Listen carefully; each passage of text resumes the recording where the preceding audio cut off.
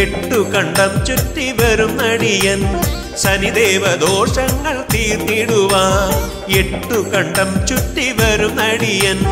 ശനിദേവ ദോഷങ്ങൾ തീർത്തിടുവാൻ പകലും രാത്രിയും ഒരുപോലിവിടെ ഭജനം ചെയ്യും പതിതൻ ഞാൻ തിരുദർശനമേകുമോ ഭഗവാനെ.